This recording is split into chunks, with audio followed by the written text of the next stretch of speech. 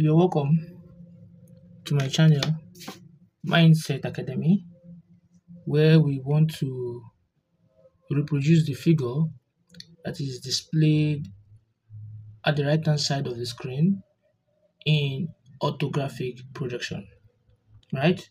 So when you hear the word orthographic projection, the first thing you have to do is for you to draw your orthographic axis.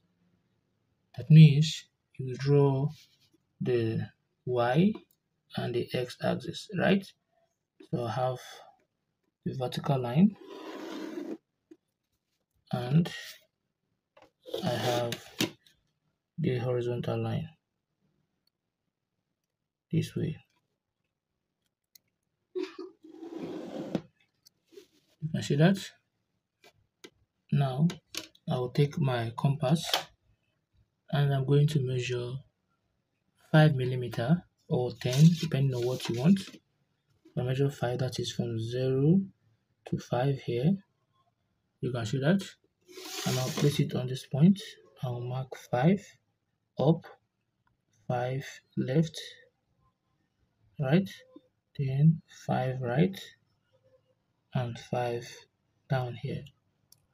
You can see that? Then I'll draw my line to go across that point. So the first one here. I'll do this. Second one here. I'll do this. Then this. I'll do this. And this. I'll do this. You can see that? So this is what you first of all do, you draw your quadrant. Knowing fully well that any measurement you have to measure will start from the outer corner, all this point here. So let's start. Now if you look at the diagram closely, we're told to look at this direction and we should draw the front elevation, the plan and the end view. So the arrow I have reproduced the figure here. This is the figure you can see, right? So we're working with this figure. It's the same as the one on the screen. So the arrow is pointing towards this side. So that means the side we're referring to that the arrow is pointing is called our front elevation. Know fully well, the front elevation can be here, it can be here, it can be here or here, right? Depending on where the arrow is pointing. Since the arrow is pointing here, that will be our front elevation. Now what you should do from this figure here is that you look for the entire length. So the entire length means from the beginning of this to the end of this, as you can see from the diagram, that is what 40. So I will measure 40 starting from the outer corner here. So if I take my meter rule, I'll measure 40. So from 0 here to what? To 4 is 40. Right? and I am going to take it up this way. I'll take it up this way. And the height, the entire height from here to this point, that is the entire height, that is what 25. So from that same point, I'll measure 25.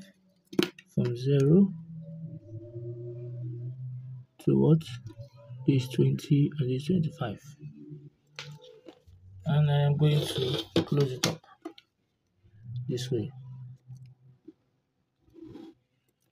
Hope you can see that. Now, since I've done it that way, this is where my figure will be placed. That is this figure you're seeing looking at this side. So when you're looking at this side, what are you going to see? You're going to see this Z-like shape here. You can see that? You see, and this is a Z-like shape. That means, and you're going to see this protruded area here that is extruded here right so if this is my figure a here is what a and a is this you can see? So whatever you're seeing looking from the direction and you see z all this side here you're going to see. You will not see the top you will not see the side. You're only focusing on the front where you can see looking at it perpendicularly. So this is the figure i'm going to draw. Now if you look at this from this end to this end which is this end to this end is given to be what? 25 So from this end here, I am going to measure what? 25. So from 0, this is 25 here. Then I'm going to thicken it. Is that thicken? Or thicken it. Now the next thing is from this end to this end is from this end to this end, which is also what? 25. So measure 25 at the top also from 0 to 25, which I am going to what? Thicken. Is that thicken?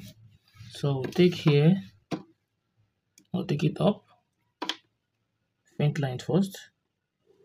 Now take this one down, Faint line first. Now what do you notice?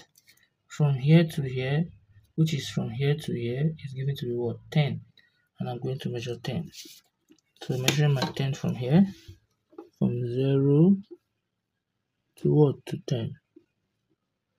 Similarly, I will just close it up from this point because from here to here is from here to here, right? Which is what I'm about to do here. Take your rule and connect these two together, right? And you should close it up. So I'll close it up and also close it up.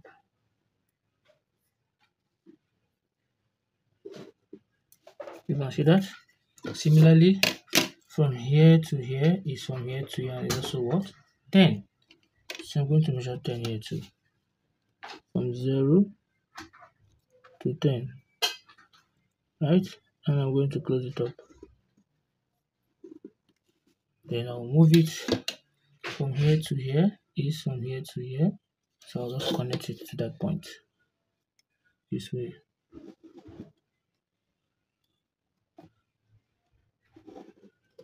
You can see that? And I'll bring it from here to here it's connected, which is from here to here, and I'll connect it.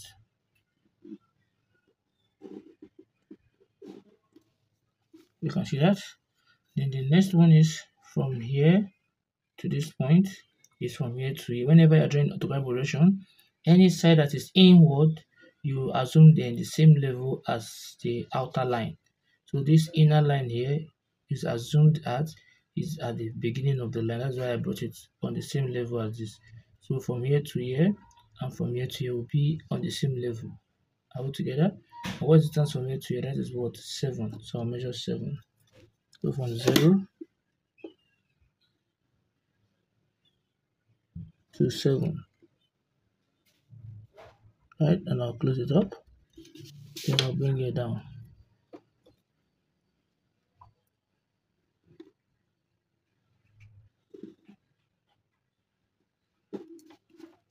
Hope you can see that. That is what we have there. So that is the shape that we have. Now we move forward. That is the front elevation that we have placed here. Now the next thing is the plan. I get the plan. I am going to project each of these ends outward this way. That will is what we have then if you notice this for the elevation from here to here is 40 the plan means you're looking from the top right? So the plan also from here to here is what? 40 which is from here to here that is 40 is that the key now? Then if from here to here is 40 automatically from here to here is what? 35 so I'll measure her height of what? 35 on the plan. So from 0 here 35 and I'll close it up. So close it up here. So that is a plane that we want to put in our plan so if you're looking it from the top right what do you notice? From here to here and from here to here will look as if on a straight line. That's why I'm drawing a straight line this way. Is that taking that is why what I am drawing a straight line this way so I'm going to take in that aspect, distance of 40. Can you see that? Now the next thing is, from here to here, which is the 35 that we have, is also a straight line. So I'm going to take in it also.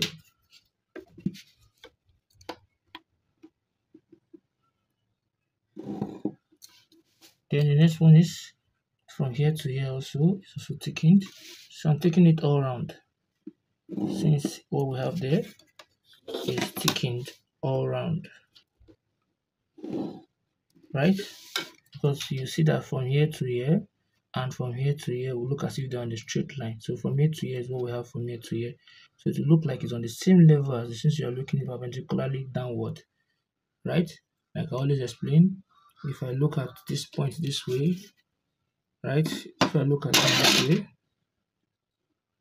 hope you can see that. It will look as if the tip here is the same level as what is under here. You'll be seeing them as if they're on the same point. So let's just move forward. Now, the next thing is, you see this point here, more like a Z, is going in. It's going what? It's going in to the other end here right? Just like way this line is what is going in. So what we'll do is we'll use hidden line to show hidden feature. You cannot see this corner from the top. The top is flat. So since we cannot see this corner here, we're going to show it on the diagram using hidden line. And what is distance from that point to the other point we have? So if you remove 25 from this side, you get the hidden line. So if I measure 25 from here, oh, I don't have to stress myself. This is the line here, this point here, is this point here which is this point here. So if i project it downward instead of measuring the 25 just project it downward this way. So that will be my hidden line. You can see that? And the next one is this line you're seeing here. So when i project this this way faint line and also project this this way faint line. You can see that so what we'll just do simply here is that um what we'll just do here is from here to here is from here to here which we don't really know. So if you add um 25 or the thickness from here to here right just remove 23 because from this point to this point is 23 all together so i'm going to measure 23 from that point. So from here I'm going to measure 23 on this line here. 0, 20, 23 here. Can you see that? And I will just close it up here. Then I'll close this one up too. Close it up too look what we have here. So if you're looking from the top you see all the shape here. From here to here is from here to here. From here to here is from here to here. Right? And these two points like i told you earlier will be on a straight line. This is what we're having looking from the top. So all this side you're seeing here is all this side. You cannot see the uh, right. You cannot see the left. You're only seeing the top view looking from the top. Now the next thing is to draw the end view. The end view is at this point here if you were told to draw a third angle projection, this you've drawn here will be down here, and this you've drawn here will be up here. So to draw the end view now, which is will be this aspect here, first of all take your set square and draw an angle of what 45 degree. Once you don't have your, your set square, you can just use connect these two points together here this way, anyhow you want to do it. So you just draw the angle you draw like this will be 45 degree. But if you have your set square, you place it on your T square this way, and you look at this point and you draw. So once you've done that, you start projecting each of these points to touch. First of all, let's start with the external line to touch the line drawn at 45 degree. Then project this to this side too. So whatever you're doing must not pass this line. So if I take it up this way,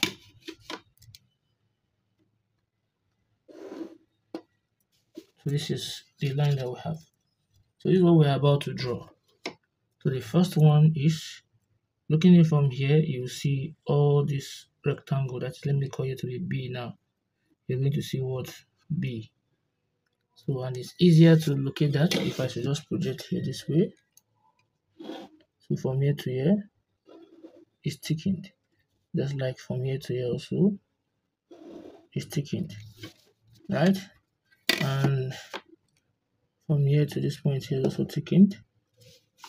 And from here to this point is also thickened including here to here. You're wondering why am I taking this line?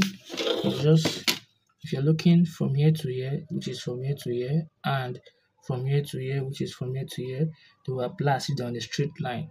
You are viewing it at an orthographic projection right this is what you'll be having that's how I draw the straight line this way similarly from here to here and from here to here do the same thing then from here to here is from here to here and from here to here is from here to here. They will apply on a straight line. Look as if any line you see that is going in will appear as if it's in front. Is that taking just like my hand this way.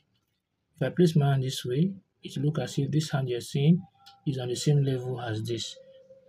Right? If I put it this way, just watch. No matter how I move it, look as if they're on the same level. Can see that? doesn't mind that. And knowing fully well that there's a space there. So if i'm moving them on the same level if i bring them down as you can see there's a space in between. So um we'll move forward. Now the next one is this line you're seeing here which is this point here we cannot see it looking from this direction so i'm going to use hidden line to represent that line. So from here you can just do it this way. So i use hidden line.